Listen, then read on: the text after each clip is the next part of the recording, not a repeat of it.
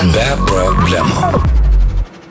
Taip, čia LRT opus radijas ir kaip minėjau prieš šį muzikinį kūrinį, kuris ką tik nuskambėjo, Basement Jacksų darbas Austin, metas šią valandą iš karto nieko nelaukiant ir pakalbėti apie Lituanikoną, čia toks renginys ir apskritai ne tik apie jį kalbėsim, bet ir apie fantastiką šią valandą opus eterį. Ir pas mane studijoje du Lituanikono, kuris vyks rugsėjo 17 organizatoriai, astrofizikas Kastytis Zubovas ir NKLT technologijų žurnalistas Adomas Rutkauskas. Sveiki gyvi. Labadiena. Labadiena. E, tai pradėkime nuo to, kas e, apskritai yra tas lituanikonas, e, kas ta mokslinė fantastika, gal nuo lituanikono pradėkime, kuris iš jūsų didesnis ekspertas šito renginio, nežinau, buvo esat organizatoriai. Lituanikonas tai yra Lietuvos fantastikos mėgėjų konventas, na, taip susibūrimas, renginys su giliomis tradicijomis, šiemet vyksta jau 27 kartą iš, iš eilės, taigi nuo 1990 metų. Na ir tai, tai renginys, kuriame, kuriame stengiamasi pritraukti visokiausius fantastikos mėgėjus, fantastikos kuriejus e, ir leisti jiems ir pabendrauti tarpusavį ir susipažinti su tuo, kas, kas toje fantastikoje vyksta, kokie vėjai, kokios, kokios įdomybės ir, ir taip toliau. Mhm. Dar turi kažką pridurti? Pasas Lituanikonas, kaip jau minėta, yra jau pakankamai ilgai besitęsiantis kūrinys, bet iki šio e, renginys, bet iki šiol buvo labiau toksai kaip ir klubinės veiklos rezultatas ir, ir pastiklas buvo klubinė veikla, kad fantastai būrėsi klubus, jie ten kažką veikia, suranda bendraminčių. Ir mes va šiais metais galvom truputėlį taip perkrauti šito renginio koncepciją ir padaryti tokį atviresnį, viešesnį, kad net jeigu tu nesi klube ir tau tas klubas, ne, klubinė veikla neįdomi, kad tu tiesiog galėtum surasti galbūt naujos informacijos apie savo mėgstamą sritį, tai šiuo atveju būtų fantastika. O galbūt apskritai atrasti pačią tą sritį, kad, kad tu tiesiog tą įmėgai, bet nežinai, kad tai yra fantastika ir kad tokių yra na, veiklų, kūrinių yra daugiau. Ir, na, tai žodžiu, dabar galima sakyti, bandome padaryti tokį Litonikono atgimimą. Hmm, labai smagu, labai šaunu. Apie istoriją tradiciškai dažniausiai, kai pasikviečiu kažkokio renginio organizatorius, tai reikia jų paklausti, na, kokia ten istorija, nuo ko viskas prasidėjo ir panašiai, bet kadangi jau kaip Kastytis minėjo, kad 27-as, tu pats paminėjai Kastyti dar prieš tai, kad tu dar nelabai ir vaikščiai, kaip prasidėjo šitas Lietuonikonas, tai gal papasakosi tada, kaip jūs, kiekvienas iš jūsų atrado šitą Lietuonikoną ir apskritai, nežinau, gal mokslinę fantastiką. Jo, čia gal iš tikrųjų Litonikonai, kadangi prasidėjo 90-aisiais metais, tai tiek aš, tiek Kastytis tikrai dar, dar ne dešimties metų neturėjome. Ir galbūt reikėtų čia asmeninės istorijos labiau prasidėti nuo pačios santykios su fantastika. Kad iš pradžių mes pradėjome domėtis fantastika, atradome kažkas, kas mums patinka, kas rezonuoja su mumis ir iš to atsirado domėjimasis. Fantastinė na, veikla klubais, atsirado interesai ieškoti bendraminčių. Na ir taip tiesiog po truputėlį atėjom ir, ir, ir vat, pirmieji litinkonai mūsų lankyti buvo prieš 12 metų, 2004-aisiais. Ir reikia paminėti, kad tie litinkonai neturi niekada tokio kaip ir vieno ištisinio organizatoriaus. Tai yra tiesiog kaip perdodama etiketė. Aš norėjau klausti, kaip jūs iškovot tą teisę tapti organizatoriais, pasikėlėt lygį savo. Na, labiau, labiau ne iškovojom, bet perėmėm tiesiog, na, vieni, vienos organizatorių komandos e, keletą metų dirbusios prie šitą renginį nusprendžia, kad, e, kad jiems jau užtenka, na, tai kitiem, kiti perima stafetę, na, tai šiemet, šiemet taip išėjo, kad, kad estafetę perėmėm mes, tai, tai yra, na, Lietuvos Tolkino gerbėjų asociacija Tolkien Lietuva ir kartu kiti, kiti fantastikos mėgėjai, kurie jaučiasi entuziastingi, norintys prisidėti. E, taip ir subūrėm tokią, tokią grupelę vat, iniciatyvių žmonių, kurie norime organizuoti. Pati idėja yra, kad na, ne tai, kad čia yra mūsų darbas, mūsų kūrinys arba čia kažkoks konkretus vat, festivalis ir brandas, ta prasme mes norime išlaikyti be abejo tą patį vardą ir taip toliau, bet pati yra idėja, pati fantastika. Populiarinti ją, supažinti su šiuo tikrai, na, iš tikrųjų stabiu žanru, kuris yra na, labai naudingas net ir kasdienime gyvenime. Nes kaip ir tas mūsų vat, vienas iš tų pareiškimų skelbė, kad fantastika, Lietuvinikonas yra vieta, kur fantastika ir realybė susitinka. Nes, na, iš tikrųjų, kas prieš kelius šimtus metų, prieš pusantro šimto metų buvo fantastika, tai dabar jau yra visiškai realybė arba net ir praėjusi realybė, kaip jau menulį mes net nebeskraidom kažkodėl. Tai. Net nereikia tų pusantro šimto metų. Prieš kelis dešimtmečius tai, ką matėme fantastinėse, tarkim, televizijos serialuose, puikus pavyzdys Star Trek. E, televizijos serialas apie atrodytų tolimą ateitį 23 amžių ir ten rodomos tokios technologijos, kurios tada, kaip serialas prasidėjo, buvo visiška fantastika, o dabar yra visiška realybė, pavyzdžiui, video pokalbiai telefonu. Arba pati planšetinė kompiuterio idėja. Pirmą kartą irgi išpopuliarinta Star Trek'e dabar turim turbūt, na, bent jau telefoną, tai kiekvienas. Tikrai taip. Dar pakalbėsime ir apie technologijas, ir apie visą tą fantastiką. Padarom dabar muzikinę pauzę. Klausydams tik tai primenu, kad studijoje vieši Kastytis ir Adomas, Kastytis astrofizikas, Adomas NKLT technologijų žurnalistas. Abu jie yra Lietuonikono organizatoriai. Lietuonikonas vyks rugsėjo 17.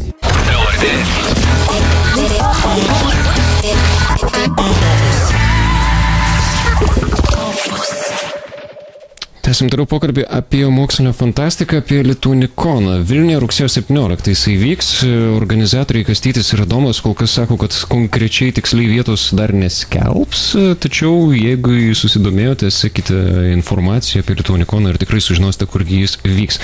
Kažkokia dominuojanti pagrindinė tema būna šituose Lietuonikonuose, konventuose ar nelabai?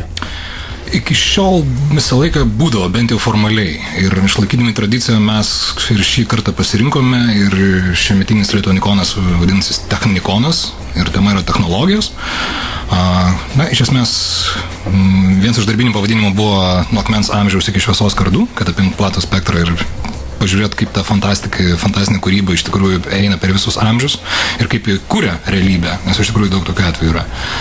Ir na, šio, šiais metais daugiausia orientuosimės į tą tokią technologinę pusę.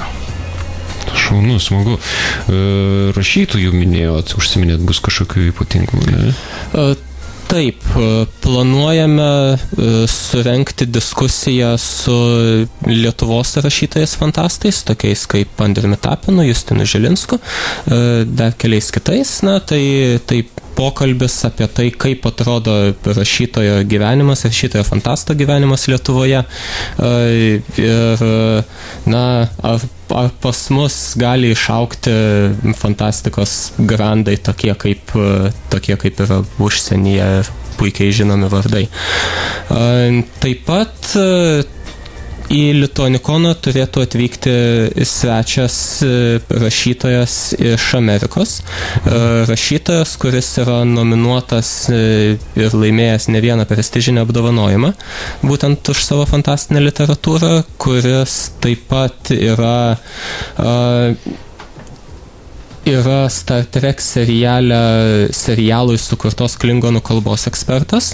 Taigi, na, žmogus fantastikoje tikrai pasikaustas. Geras, o kas jūs čia paslaptis, ar nepamenat tiksliai? A, kol, ka, kol kas irgi vardą paliksime paslaptyje. Okay. A, kol, kol dar nėra, na, kol, kol lėktuvo biletai nenupirkti ir nėra kišenėje arba elektroninėme pašte, tai neskelbsim. O taip, bet galima paminėti, kad tas pasirašytojas yra dar ir psichologijos mokslo daktaras, jeigu neklystu, ir jo paskutinė knyga yra apie bendravimą su mirusiaisiais. Bet tai yra iš fantastinės pusės, ne fantasy, bet iš -huh. labiau mokslinės fantastinės pusės. Tad, na, tikrai pats tas pranešimas ir susitikimas su juo ir tikėsime diskusija turėtų būti tikrai, na, neįlinis įvykis. Mhm. O šiaip apskritai fantastika labai platus žanras Tai kaip suprantu, Lituanikono tikslas pritraukti visų ten tų subžanrų ir įvairiausių steampunkų tenai ir visokiausių mėgėjus.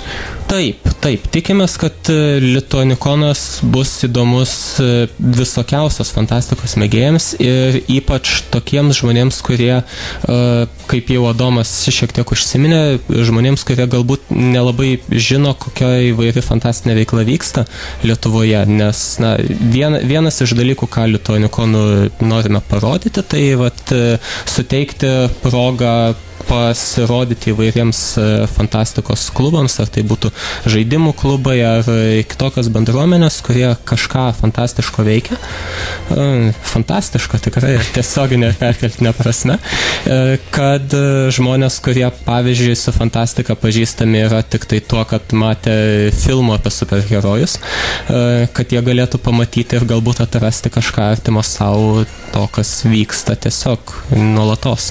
Nes iš tikrųjų pats tas fantastika terminas yra, na, sakyčiau, su laiku kintantis. Vieną kartą man teko imti interviu iš JAV rašytojo, fantasto, futuristo, kuris bendrauja su Google ir su NASA, Davido Brino. Ir jisai kaip apibrėžia fantastiką. Jūs pažiūrėkit, kas buvo, kaip dabartinė mūsų kasdienybė apibūdinta būtų prieš 300. Aš iškeliu pirštą, paliečiu sieną ir atsiranda šviesa na, atrodo, kažkada tai būtų magija, dabar, mm -hmm. na, mhm. kiekvienas supranta, kad tai yra elektros jungiklis. Ir, na, Aš būtent čia kažkoks projektorius bus ypatingas ar kažkas. Na, viską galima žiūrėti paprastai arba priešingai, arba tarkim, ta pati vienas, kiek žinau, ruošimas ar pranešimas įdomus aspektas. A, turbūt daugelis yra girdėjęs Tolkieno kūrybą ir jo elfus ir ten vyrauja magija ir taip toliau, bet galbūt mes galime pažiūrėti iš mokslinės pusės, galbūt tai yra genetika, gal genų inžinieriai ir panašiai. Tad tiesiog, tai tam pačiam renginiui bandysime pažvelgti į tą patį dalyką iš skirtingų kampų. Labai smagu. E, kaip suprantu, šis renginys ir kaip kastyti to minėjai, kad jisai skatins atrasti žmonės kažką naujo, jis taip pat ir paskatins turbūt ne tik tuos vairius klubus vieniems kitus atrasti, bet ir gal pavienius talentus, nes ten bus ir įvairių konkursų, jau du iš jų netgi yra paskelbti. Gal pataro muzikinę pauzę. Jūs klausotės LRT Opus. Opus.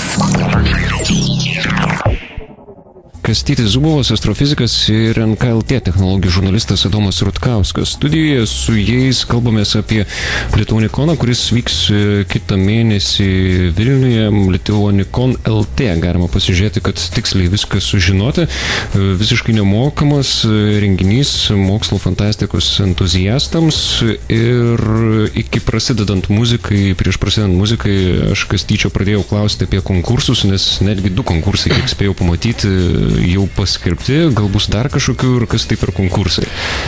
Taip, e, lituanikonų tradicija yra literatūriniai konkursai. Tai yra apsakymo fantastinės miniatūros konkursas, e, kažkokia paprastai nurodyta tema. E, dažnai būna susijusi su, su paties lituanikono tema. Šiemet nusprendėme padaryti kiek kitaip. Na, tiesiog sąsąją su ta lituanikono tema technologinė palikti tokią menkesnę, bet šiemet konkursą paskelbėme e, kūrinio pagal iliustraciją. Tai yra pateikėme tris iliustracijas, kurias e, nupiešė viena fantastų bendruomenės narė. E, ir Užduotis yra dalyviams sukurti kūrinėlį pagal vieną iš tų iliustracijų.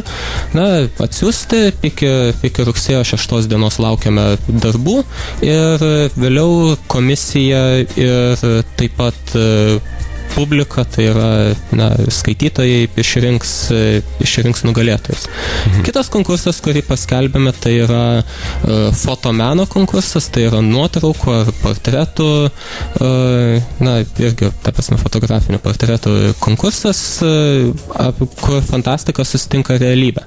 Tai čia labai daug vietos interpretacijai, kad uh, dalyviai uh, galėtų na, kažką fantastiško, fantastinio nufotografuoti, ar galbūt paprastose dalykuose išvelgti kažkokią fantastiką ir jas taip suinterpretuoti, na ir atsiųstų tada mums ir vėlgi ir ir žiūrovų, tai yra na, publikos numylėtinio prizas e, numatomas ir taip pat organizatorių išrinkto nugalėtojo prizas. Kažkuris iš jūsų bus komisijos narys šitos, kur rinks ar ne? Aš tiesiog net neatsimenu dabar komisijos.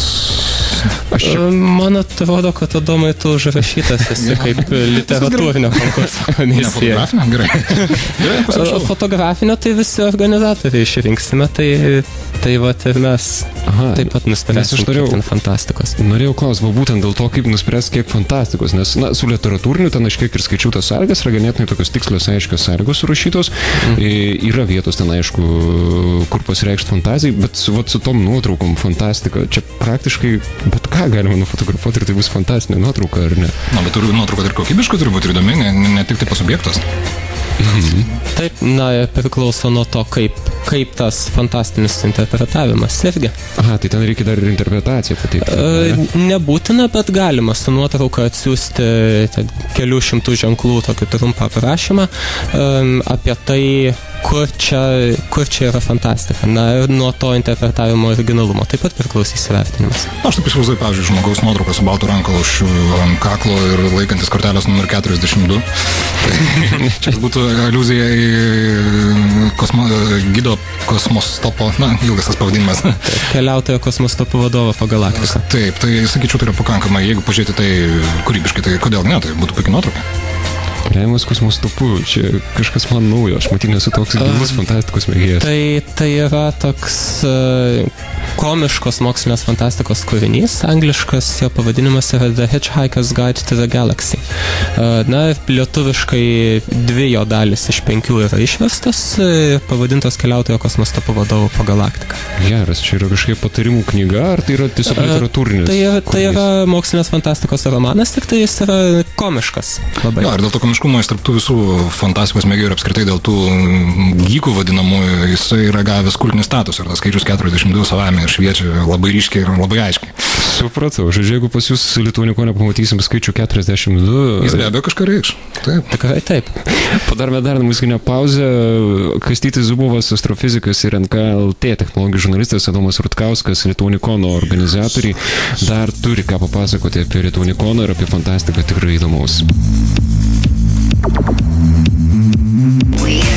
Weird Science, Stevenas etrija skambantis kūrinys. Na, mokslas būna ne tik keistas, tačiau labai dažnai jis būna ir įdomus. Dar įdomesnė yra mokslinė fantastika. Lituanikonas ne tik mokslinės, kaip suprantu, bet apskritai fantastikos e, mėgėjų subūrintis renginys. Jis vyks Vilniuje rugsėjo 17 dieną. Ir jo organizatoriai, technologijų žurnalistas Adomas Rutkauskas ir astrofizikas Kastytis Zubovas studijoje viską pasakoja, išdavinėja, ką jau žino apie šį renginį ir apskritai apie fantastiką su jais dar manau manau, spėsim pakalbėti. E, dar du konkursai, kas tyti minėjai, jau apie du nuotraukų ir tekstų kūrinių paminėjai, dar kokie du liks. Taip, du konkursai jau paskelbti artimiausiamis dienomis paskelbsime dar apie du konkursus. E, vienas iš jų taip pat bus kūrybinis. E, parašysime dalyvius sukurti labai trumpą, 100 sekundžių trukmės fantastinį filmą. Oho. Iššūkis neblogas. Toksai. Taip. Kaip, na, kaip jie sugebės tai padaryti, pamatysime, bet nebejoju, kad kūrybingų žmonių Lietuvoje tikrai yra daug, kurie, kurie, tokius, kurie tokį iššūkį puikiai veiktų.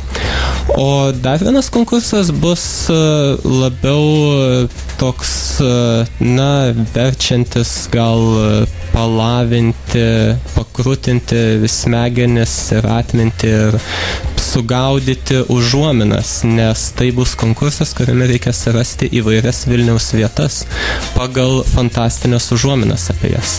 Na, kokios tos užuominos kol kas neatskleisiu, bet jau po keletą dienų turėtų pasirodyti ir visos konkurso taisyklės ir pirmosios užuominos. Čia bus fantastinė Pokemonų versija. Na, gal kažkas panašaus. Taip, e, dar minėjot, kad bus ir kitokių renginių, netgi artėjant e, pačiam Lietuonikonui, prieš Lietuonikoną, ne tik Vilniuje esantys fantastikos mėgėjai turės progą įsijungti, bet užsiminėt, kol skambėjo muzika, kad dar bus kažkokių renginių, gal apie juos šiek tiek.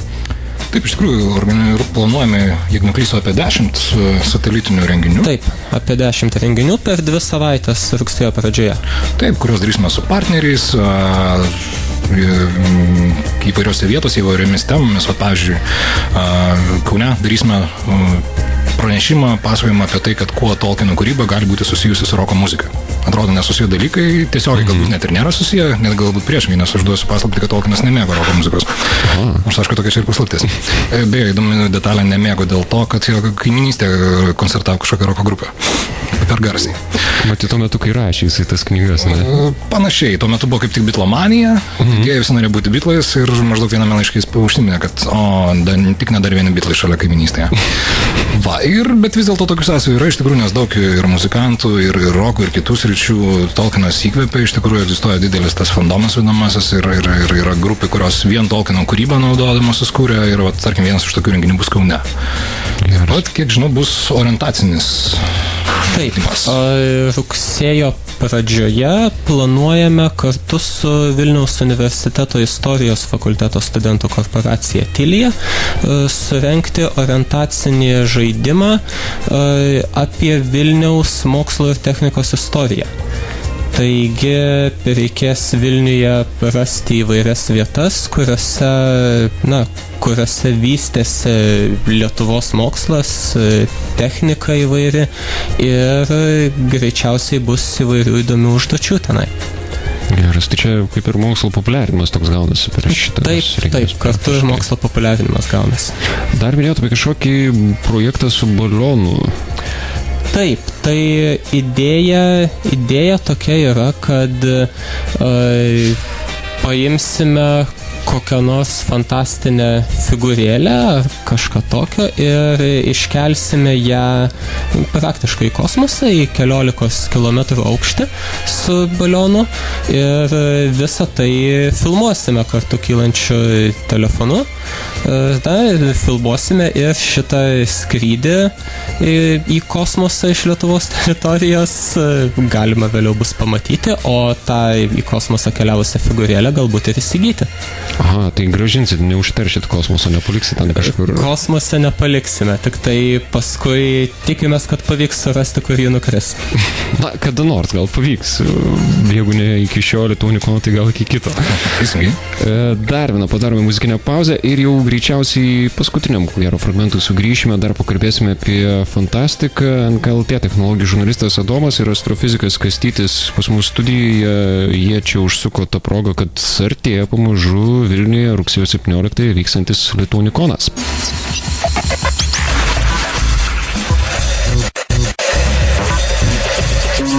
LRT Opus. Dar 15 minučių iki 14 val. Lietuvoje ir didžiąją dalį šių minučių šio laiko praleisime kalbėdami apie fantastiką, mokslinę fantastiką.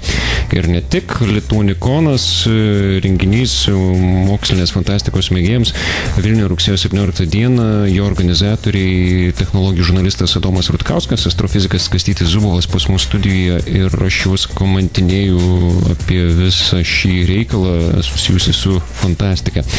Dar minėjot, kad apskritai Lietuvoje vyksta turbūt ne tik susijusių renginių su, su Lietuonikonu, tačiau ir susijusių, kas apskritai vyksta toje Lietuvoje fantastikos mėgėjus. Taip, Taip, Lietuvoje tikrai vyksta daug įvairios fantastinės veiklos ir, ir tokios veiklos, kuri vyksta miškuose bei laukose, pavyzdžiui, vaidmenų žaidimai, vadinami gyvo veiksmo vaidmenų žaidimai, kurie ypač vasaromis, bet ne tik vasarą, žmonės susirenka, persirengia įvairiais uh, fantastiniais personažais ir uh, žaidžia tos žaidimus, įsijaučia į fantastinius pasaulius. Uh, vyksta ir įvairūs, tarkim, stalo žaidimai, kolekcinių kortų žaidimai. Vilniuje egzistuoja ir stalo žaidimų klubas, taip pat, tarkim, mūsų irgi Litonikona vieni iš partnerių yra stalo žaidimų parduotuvė ir klubas Sirikis, kuriame taip pat vyks keletas tokių įžanginių satelitinių Lituanikono renginių. Taip pat mūsų va, Tolkien Lietuvos bendruomenė mes rengiame ne vieną renginį reguliariai, tarkim, kiekvieną mėnesį Vilniuje darome teminius susitikimus įvairių, kuriuose dažniausiai būna paskaitos įvairiomis temomis. Kiekvieną mėnesį rengiame fantastinių knygų klubą, kuris artimiausias vyks rūpjūčio 30 dieną ir tai bus vat, pirmasis iš tokių satelitinių Lituanikono renginių. Taip pat irgi vat, laukose žaidžiame tokį žaidimą atėjus iš vieno fantastinio filmo pavadinimu Jugger, kuriame dvi, dvi žaidėjų komandos po, po penkis žmonės grumėsi su, su butaforiniais ginklais ir stengiasi paimti orko galvą ir nunešti pas priešininkus ir užmauti ant strypo. Šitas žaidimas yra žiauriai įdomus. Aš mačiau, kai tu buvai įdėjęs į Facebooką, man atrodo, nuorodą tenai ir vaizdo klipų buvo pavyzdinių. Aš pasižiūrėjau, atrodo tikrai įspūdingai. Žaisti taip pat smagu, kaip atrodo iš šono. Žaisti smagiau. Tikrai? Taip, žaisti yra tikrai smagiau. Ir daugelis, kurie jį pamato, tikrai nori žaisti ir nesigaili pabandę. Ten yra kažkoks tikslas, nes iš pirmo žvilgsnio atrodo tiesiog dvi komandos mujuoja kažkokiai kuokom, dar kažkokie vieni kitus vaikus, regbi man kažko priminė. Taip, tikslas yra paimti, na, ne kamulio, mūsų atveju irgi butaforinę orko galvą ir nunešti ją į kaip priešininkų komandos galą ir užmauti ant strypo. Smagu, tikrai. Taip, nepertraukdamas viską pasakėjai, ką norėjai. Kokia apskritai tada yra ta Lietuvos fantastikos, nežinau, padėtis dabar, nuo ko jį prasidėjo, ar seniai prasidėjo, ar labai mes skiriamės nuo užsienio?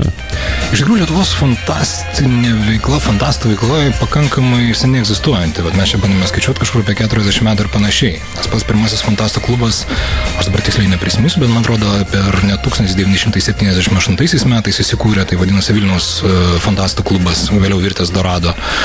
Na ir iš tikrųjų tas pats klubas, kurio vat, vadovas ilgametis buvo Gedminas Bresnevičius, jis buvo aktyviai dalyvavo, bent jau kai kurie nariai aktyviai dalyvavo tuometinėje Tarybų sąjungos fantastų veikloje, buvo pakankamai žinomi ir taip toliau ir gal galia dėl tos pačios priežasties, kad buvo žinomi, susilaukė net ir KGB dėmesio.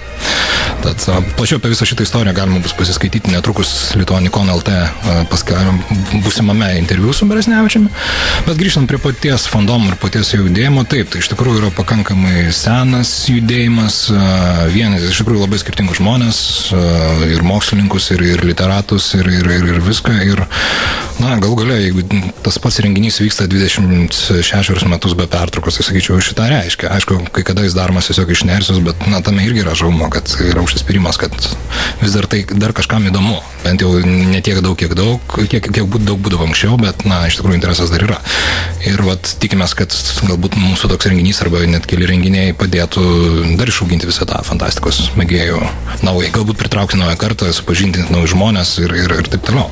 O tradicijos yra gilios ir geros.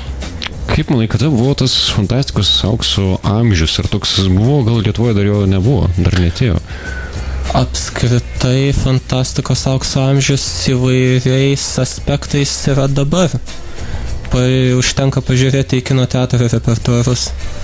Prieš 10 metų ar prieš 20 metų fantastinių filmų ten būdavo sunku rasti, o dabar eina vienas po kito, tik spėk žiūrėti. Ir iš kitos pusės, grįžtant prie temos technologijos, mes gyvename fantastikoje jau šiandien. Tai čia irgi. O kalbant apie Lietuvos fantastikos aukso amžių, aš nežinau, čia galbūt buvo apie 2000 metus ar kažkas panašiai, galbūt kai buvo ten patys didžiausi Lietuvonikonai, arba žinoma didelis buvo a, įtaka, kaip veikia specializuota fantastinės literatūros leidikla Eridanas. Ir leidus visą, tuo metu auksinę visą tą rinkinį geriausių knygų ir, ir užauginusi visą kartą ir mus tame tarpe su Kastyčiu ir, ir be abejo daug kitų. E, paskui tas judėjimas truputėlį apslopo ir kaip ir aišku, atėjus internetui, jisai išsklaidė į virtualią erdvę, ir, ir, bet jis vis tiek egzistuoja toliau. Taip, priešingai negu būtų galima pagalvoti, virtualybė toli gražu nepasiglemžė visos fantastikos ir realybėje vyko ir tebe vyksta ir nebejoju, kad ateityje vyks labai daug tos fantastinės veiklos. Jo, ir tas vat, vienas iš tokių idėjų Lituanikono yra galbūt iš tos virtualybės patrauk, pritraukti tuos pavienius žmonės. Nu, žmonės, kad parodyt, kad yra ir gyvų žmonių, ir kad gyvai susitikti iš tikrųjų verta. Aš pats esu labai didelis virtualybės mėgėjas ir, ir, ir kartais tikrai patogiau apsitarti kažką nesitraukiant nuo kompiuterio ekrano, bet, na, vat, pasidalinti pomėgiais, padiskutuoti galų galia gyvai, na, tai yra visiškai kitas jausmas ir kitas produktivumas. Supratau. Laikas mums jau baigti pokalbį ir tie visiškai 14 val. Ačiū Jums labai, kad atvykot. Ačiū Jums. Ačiū Jums. Palinkėsiu gero, fantastiško tiesiog litonikono, aišku, šiuo metinio. Na ir taip pat žinau, kad tas aukso amžius fantastikos, kad jisai, kaip čia, jeigu dabar yra visame pasaulyje, kaip Kastytis sako, paminėjo, kad labai jau taip ant bangos vis tas, visa ta fantastika yra tiek kino teatruose, tiek visur, tai aš tikiuosi, kad Lietuvoje ta banga dar didesnė bus ir kuo toliau, tai tik tuo didės ir didės. Tai dėkui dar kartą, kad atvykote, klausymus tik tai primenu, kad tai buvo NKLT technologijų žurnalistas Adomas Rutkauskas, astrofizikas muzikas Kastytis Zubovas. O jeigu jūs susidomėjote fantastika, Lituanikonas vyks Vilniuje rugsėjo 17 dieną, jau 27 netgi, jeigu užsuksite į Lituanikon LT, tenai visada atrasite visą atnaujintą šviežiausią informaciją, kur konkrečiai jisai vyks ir kaip ten viskas atrodys.